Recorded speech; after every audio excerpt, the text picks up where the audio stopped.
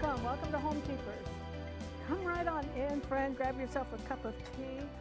This is a program I've looked forward to for a long time, but before I tell you about it, I just want to welcome you and uh, hope you feel that welcome.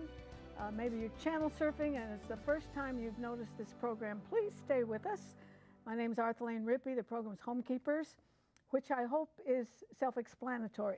so, welcome, one and all. Now, the reason I'm excited about this program is because, well, I've noticed on Oprah Winfrey's channel that she has a program called Where They Are Now. And she brings back guests who were on the program most many years ago. That's what we're doing today. And uh, today, my guests are my daughter, Meredith Coffman, and her good friend, Diana Burgess. And they were right here on this set 10 years ago this month with uh, some incredible stories. My daughter was just uh, still in the recovery process of uh, breast cancer and all that goes with that. And Diana was still recuperating from, get this, a plane crash when there was a time that they wanted to amputate her legs. And um, God intervened, and the girl has actually become an aerobics instructor. You can't keep Diana down. These girls are friends from high school. This is going to be a great show. I'm glad they're here. And um, Meredith's going to cook with me today in the kitchen. And I can tell you she's a very good cook. She's very well organized. She knows her way around the kitchen, and I'm delighted to have them both. Before I join uh, Meredith, though, I want to again offer you this book, Bible Basics for Everyone. This is just a gem, my friends, for anybody, whether you've been a Christian a long time, there might be things here you've forgotten or overlooked, or if you're a brand new Christian, this can give you a jump start in your Christian life. And it's yours for any gift. You choose what you want to give. Our address is on your screen.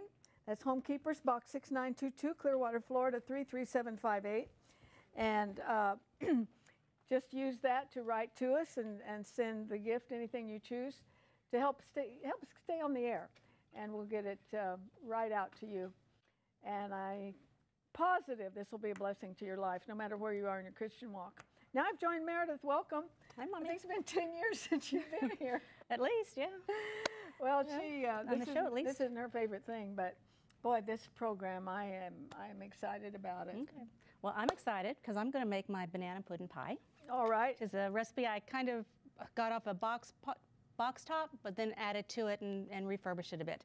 So what you're going to do okay. is just take your banana mm -hmm. and peel it and then slice about a quarter of an inch slices. We're going to line the bottom of our graham cracker okay, crust. shall I line it? Yeah, okay. you slice that up. While you're doing that, I'll take our few ingredients we have. I think there's just five, actually.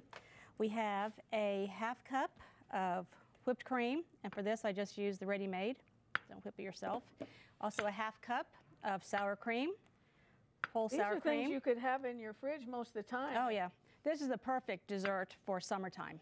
It's easy, it's no bake, it's light, and it's refreshing. How long does it, should it chill? Uh, we'll get to that, but okay. Um, about an hour. and then you, um, we'll mix this up first. Mix these two together. There we go. You ought to see this girl on Thanksgiving. Mix I'm telling this. you. This is already kind of cool, uh, warmed up a little bit, so that's good. She and then the we take um, vanilla instant pudding, and we put that in here, and a one and a half cups of skim milk. Pour that all in together, and just mix that up. Do your boys like this? Oh yeah. In fact, the one I pre-made was um, in the house last night, and I wasn't there, and it almost got eaten. but um, you just mix this up till it's nice and smooth. Um, get all the lumps out. Just kind of splattering. That's all right. Okay, just line that real good. And then the last thing is about um, half a teaspoon to a teaspoon of vanilla. And that's all the ingredients. Now, will that thicken up? Oh yeah, the instant pudding will, it'll thicken as we, you, we pour it in there, you'll see it start to, um, to set up a bit. But you just want to make sure you have all the lumps out and it's nice and silky smooth. And where did you say you got this? You got the idea, but you also I got it off a box. tailored it for yourself. Yeah, and then I made it into a pie. What was That's it? good. It was It just wasn't a a, pie. it was like a banana something, I don't know. It was on a box of vanilla wafers. That's all right. So then you just take your mixture and pour it in to your, oh, and Oh, I- you can see it already setting up a little bit. I took your spatula. Just pour that in there. Well, it looks good. And then to top it off, make it a little prettier, take some unsweetened chocolate shavings and just get it on there as much With- as you want. With her boys, it's a miracle that it made it because They they're like over it. six feet tall and they That's eat good. a lot. So then just put in the fridge for an hour or two. And it's real good if you have some fresh strawberries or fresh Ooh, that would be good. raspberries to put on top. That would be And good. this is the one from last night. You can see how well it sets up. Well, you could take this to a friend if, you know, Yeah, if you run out in the heat too much. it's Uh, well, it does hang together good. She said.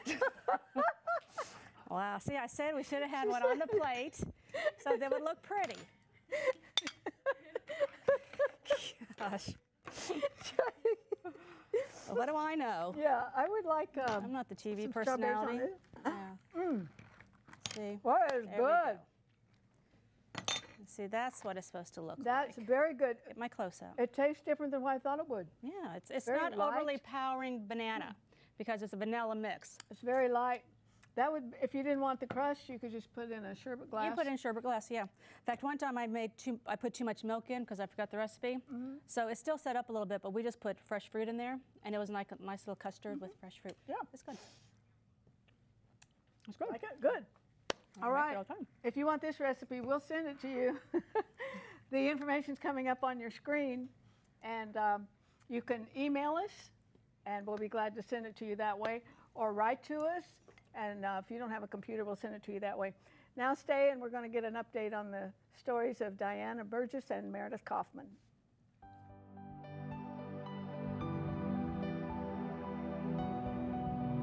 If you would like a copy of today's recipe, just write to the address on your screen, or you can email your request to arthelene at rippy.org.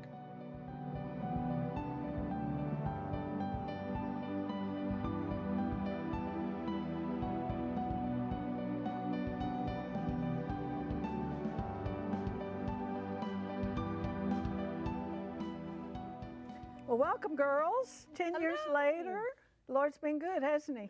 Yes, he has. Yes, he has. Uh, we're going to show a little bit of the video of when you were here before.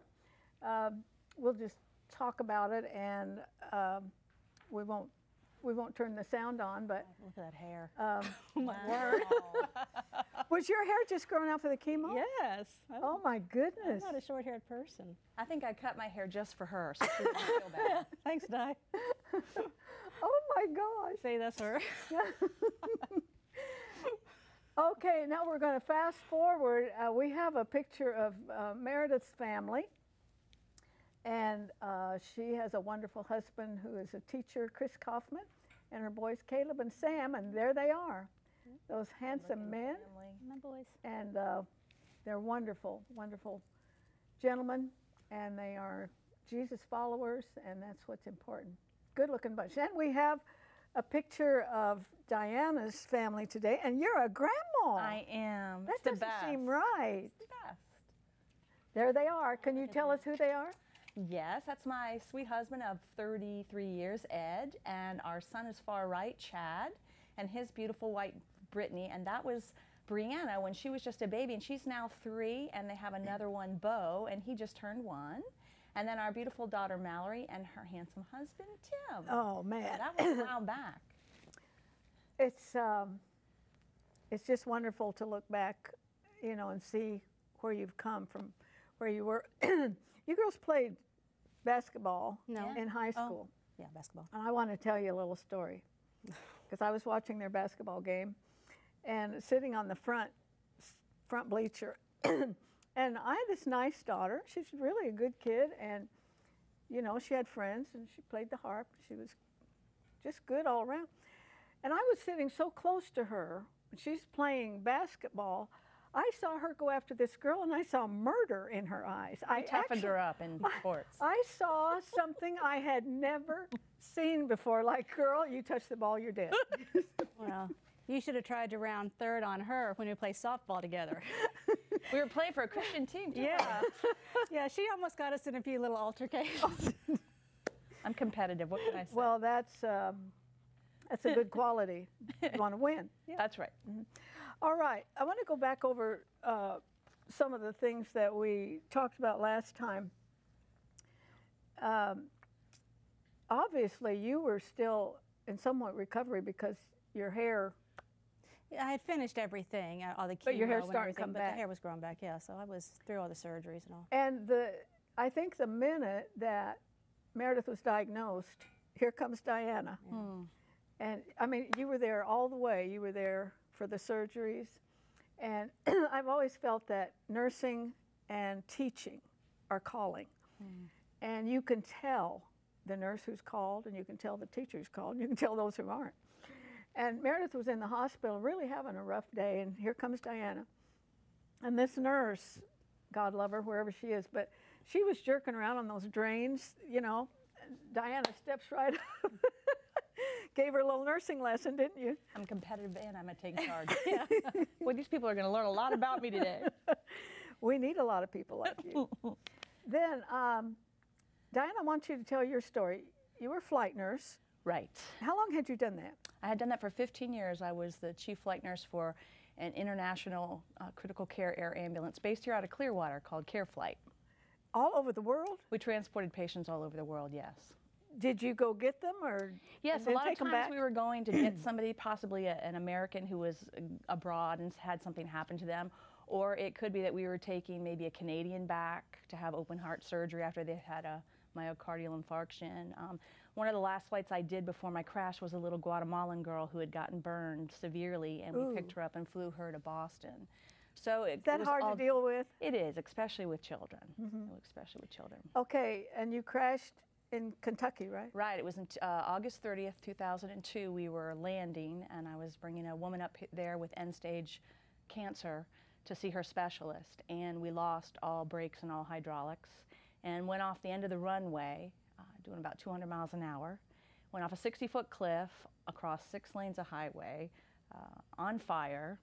And the impact uh, killed my patient immediately um, and it critically injured the rest of us. But I was the most critically injured. It had uh, torn my all my supporting ligaments and made my legs go backwards and ruptured some major arteries down there, punctured a lung, broke my back.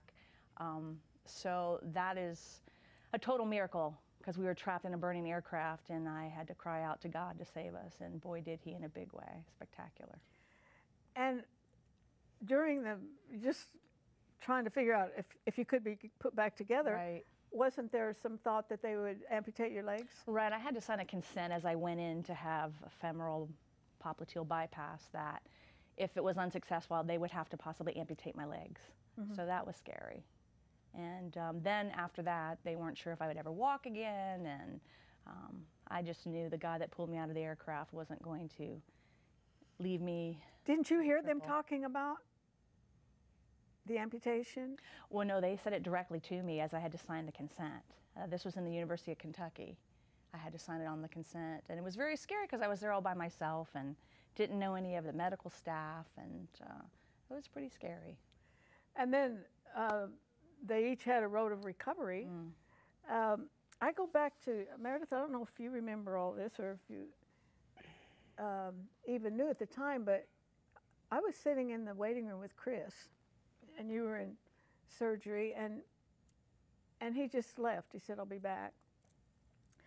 And he told me later that the Lord kind of spoke to him and said, "It's not, you know, it's not going to be what you think. It, it is, it is cancer." This was during my biopsy surgery. Yes, Okay. yeah. The first one. Uh, and the Lord spoke to him, but he said, But I'll be with you. Remember that. And then, after the biopsy, and you were, uh, you had a few weeks before the surgery.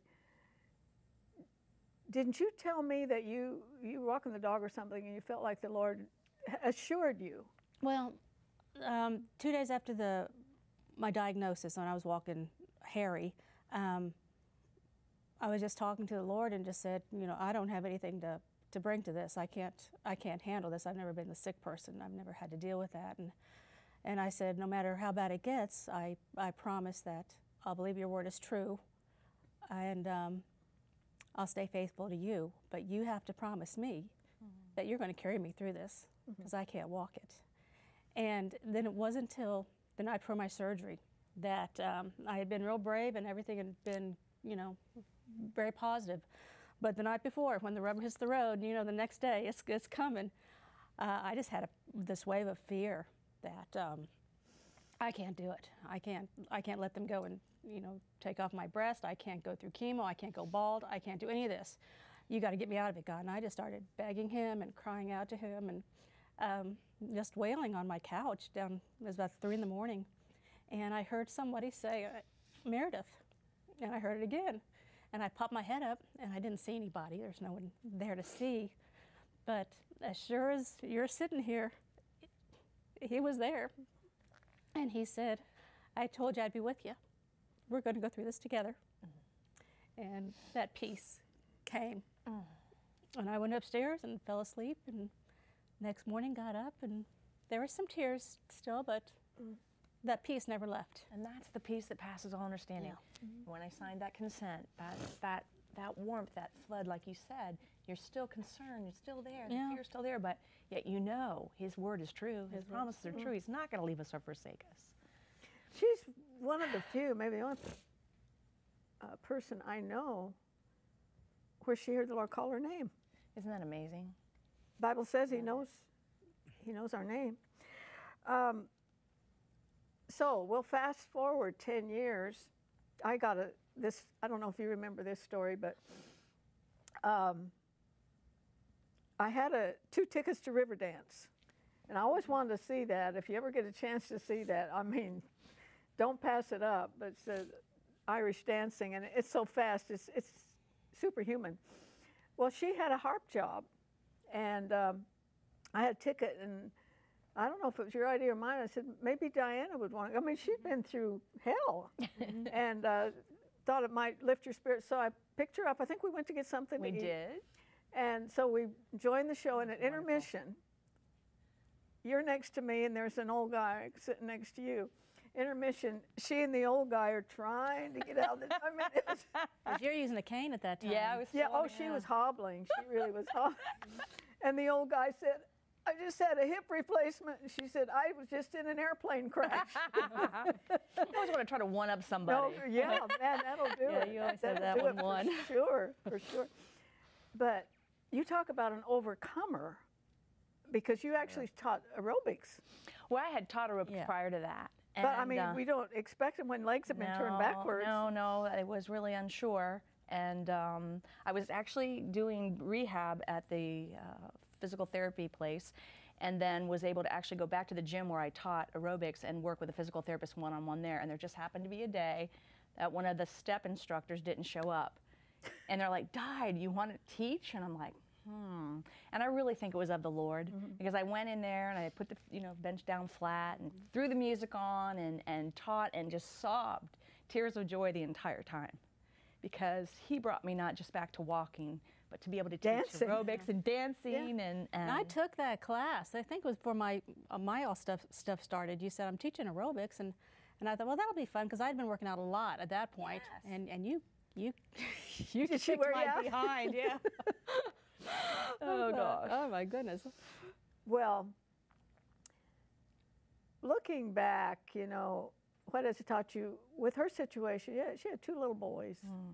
They were very young. And I've noticed one thing uh, she has a compassion for people with cancer, absolutely and uh, she's right there. is it corinthians where it says the god of all comfort who comforts us so that we in turn can comfort others with that comfort so i had gone through what i had gone through and when i heard about what was going on with mare it just felt it felt natural to be able to say hey girlfriend i know this stinks but i also know mm-hmm. you are going to get through this and he's going to mm-hmm. carry you through this and you're going to see all the people that he brings around you to be the hands and feet of Christ and it's going to be awesome. And I see her boys now, how awesome they are. I see my my my children and I'm sure like yours they had accepted Christ at an early age, but they walked this this difficult road with us and they saw the promises are true. And it just really solidified their personal faith with our Savior, which I'd do it again in a heartbeat. If you've just tuned in, I'm talking to my daughter, Meredith Coffman, and Diana Burgess. They were on a show 10 years ago this month, and uh, were recovering from uh, some very serious situations in their lives. And so I want to have an update on this. And, and as I mentioned, or they mentioned, really, it changes you forever, uh, makes you far more thoughtful. But uh, for Meredith, your great great grandfather was a preacher. Your grandfather, your dad, your brother, and I won't go through all the. But my, I'm so proud of the missionaries and the, your cousins, and we're we're on Facebook with cousins in Cambodia, uh, and uncles. But I've often said Meredith is the best theologian in the family, which she wouldn't agree with, but the reason being, you've been in a Bible study for how many years? Well, a couple different ones. I was in one for seven, and then this current one, I think I've been in five or six. And I mean, faithful, really faithful. And one of the best times I can remember is sitting around the table. I think it was a Christmas table. Her and her brother sparring because her brother's a pastor too, and uh, how how she held her own. Uh, what prompts you to do that and stay in it? I want to know Christ better. I want to, I want to model Him to my children. I want to be a, a witness to His love and faithfulness to those I come in contact with. Yeah, but I'm telling you, she can go deep. I can tell you that. I'm not challenging her. Uh, no, but um, as you uh, as you look back over the last ten years, would you trade what you've learned, even despite the pain and the the anxiety? Because you had children too, didn't you? Oh yeah. Mm-hmm. My children were 16 or 14 and 18 at the time, and now I have grandchildren. Yes, no, I wouldn't. I wouldn't trade it at all.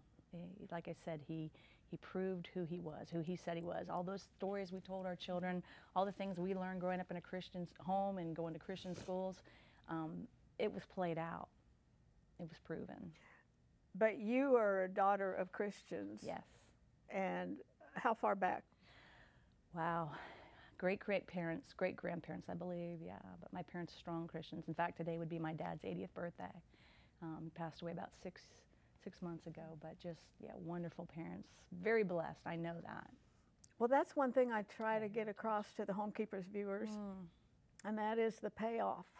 Yeah. If you'll serve the Lord, uh, it's, it's going to be paid off for generations, and Right. and your generations and hers, uh, who've been in heaven a long time, um, they're still. I think God said to the thousandth generation of the righteous. But the unsung hero in both our stories is our husbands. That's true. Very Uh, true. And her, I mean, both of them, but hers is a paramedic. And she was couldn't do anything for herself for like four months when you had those rods in your leg. legs. So he had to do everything for her. And and my husband, who's not medic, uh, medically gifted at all, he had to do some medical things for me that were totally out of his comfort zone. So both are They fulfilled We're their vows. in Yeah. And that you're way. still married. Yeah, still married better happily. than ever. Well, you were. You were 100% invalid, really, Yes. for a while. Oh yeah. He had to do absolutely everything, for you. And Chris is an athlete, so I can't picture him changing drains, but no, he but did. he did. He had to change the dressing on a very nasty, gnarly scar that I never even looked at. I don't want to see it. He knows what it looks like. yeah. So Yeah, you know, there's so many stories here of God's faithfulness because He is faithful, but then when you see how that's transmitted to people, Mm-hmm. and her children saw it. I remember um, your children are younger than hers, Yeah. right? Uh, how old would Caleb have been?